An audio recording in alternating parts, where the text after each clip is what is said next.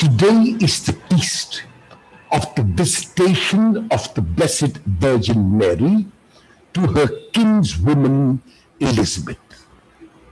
The feast of the visitation was begun by Saint Bonaventure among the Franciscans in the year 1263 or 1263.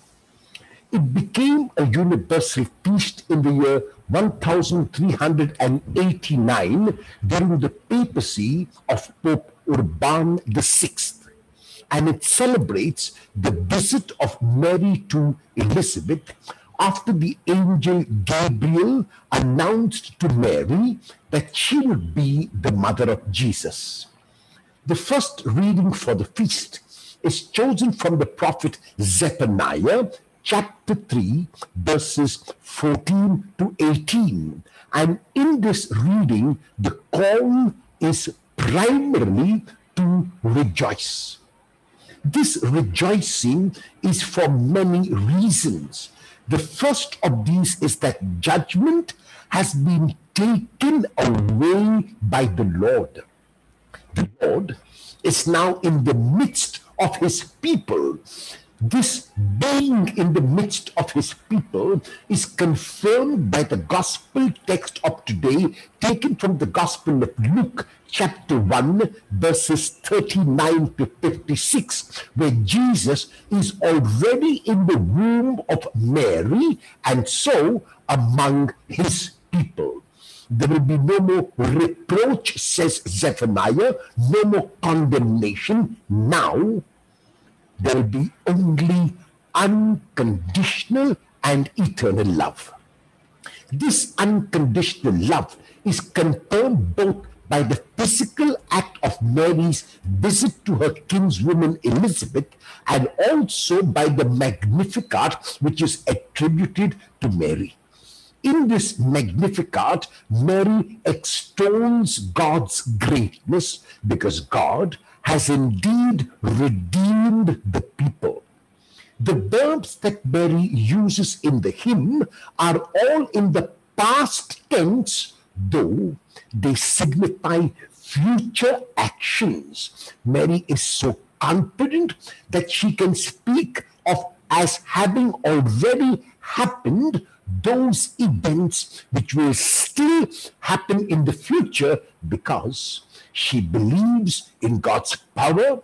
She believes in God's majesty. She believes in God's promise. And she believes in God's love.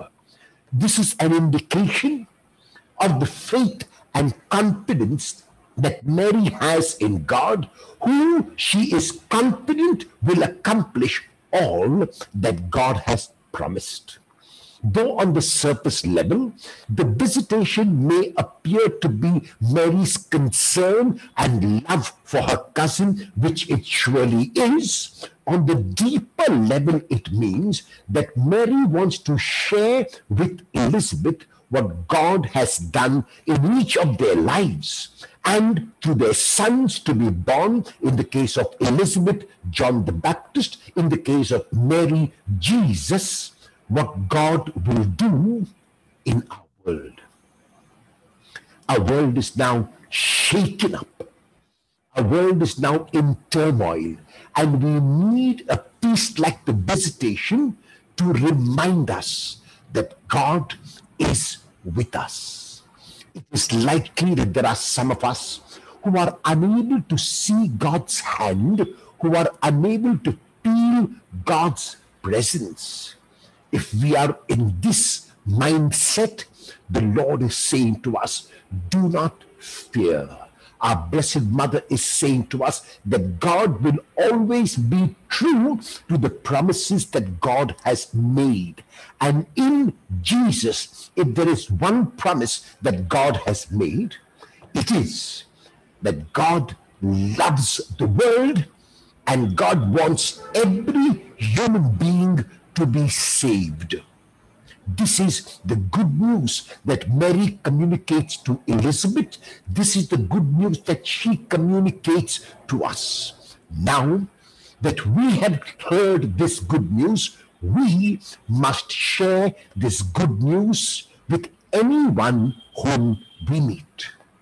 With whom and when will you share this good news of God's unconditional and eternal love?